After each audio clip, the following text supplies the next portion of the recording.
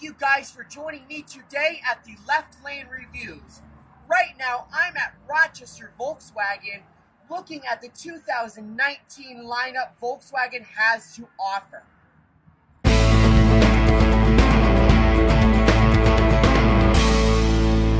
The original 1983 Mark I Volkswagen Rabbit sported red plaid seats, snowflake wheels, and a golf ball shift knob. It helped create the brand that Volkswagen now promotes highly today called the GTI. Now for 2019, the Rabbit is back as a special edition model.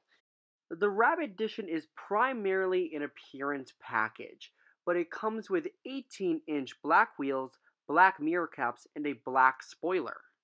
You do also get forward collision warning system with low speed automatic front braking, blind spot monitoring, and rear cross traffic alert. Push button start, adaptive LED headlights. Is up 8 horsepower from last year, making the total 228 and 258 pound feet of torque. There is a new 7 speed dual clutch with a 6 speed manual also still available. Now for your track needs, the Rabbit is equipped with a mechanical torque sensing limited slip differential and Golf R brakes. It also has this beautiful leather wrapped steering wheel with red stitching.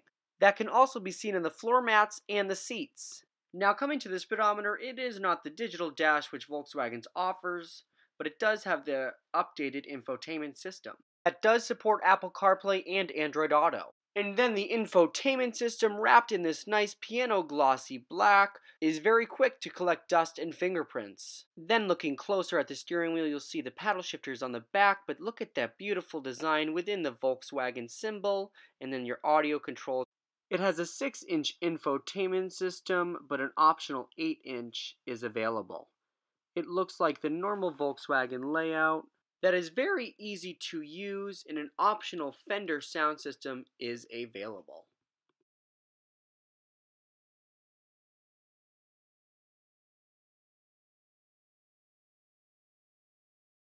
dash is then covered in a hard touch plastic. This vehicle does have four driving modes, Eco, Normal, Sport, and Individual. It does not have a dual climate zone, but heated mirrors. Then in the back seat, you'll see that it almost has a little bit of lip overhanging, but these seats do not fold flat down. Right now, I'm sitting in the back of the Rabbit, and I can tell you there is plenty of headroom, and the back seats, like the front, actually hug you really well. The driver's seat is still in the position that it was placed in, and there is plenty of knee room for taller drivers, passengers.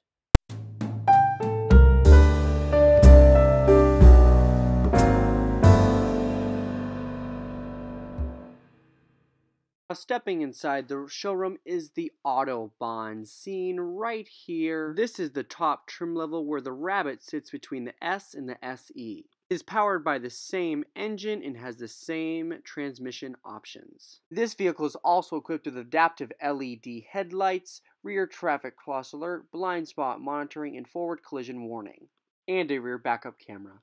Stepping into the Autobahn, the red stitching continues on the leather seats and the steering wheel, but still no digital dash. GTI specific pedals, with floor mats that also say GTI in red. You receive the same steering wheel as seen in the Rabbit, but with the exception of a couple new buttons. There is also optional rain sensing wipers. There is a 9 speaker Fender audio system and lane keeping assist. Then again, you have this very nice leather wrap steering wheel with the very cool pattern and the GTI name at the bottom. It has DDC adaptive dampening control, which includes adjustable shock absorbers and a larger rear anti-roll bar. It has the 8-inch CarNet infotainment system. Not the best visibility though when looking out the back. Very sporty seats that hug you extremely well when thrown into corners. Has an okay amount of legroom for a hot hatch a panoramic sunroof that opens up very, very wide and gives you an excellent open airy feel, and 18 inch wheels. The GLI was first introduced in 1984 and has been revamped for the 2019 year.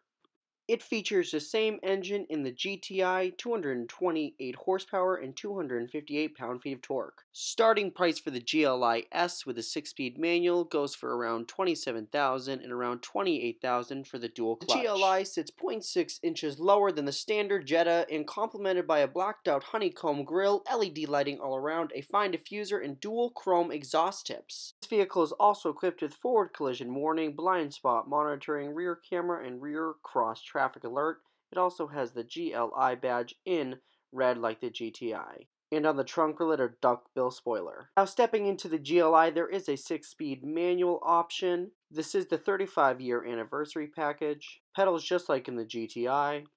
A trim that almost looks like fake carbon fiber, but with nice leather all around, and then an 8, and then with a 6.5 inch screen. This also has the beautiful steering wheel like in the GTI, with the amazing pattern. In the rear seats, visibly you can see a lot more room and physically there is a lot more room. Do not hug you like the rabbits.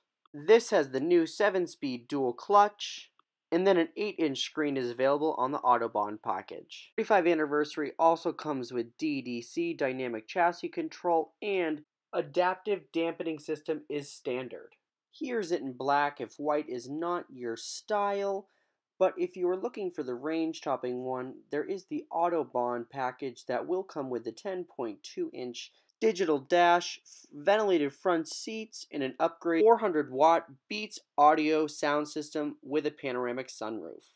Now you're going to want to buy this vehicle if you want a sporty, comfortable, good looking, tech packed vehicle that's not going to break the bank. With a 6 year and 72,000 mile warranty, you can't go wrong with the GLI.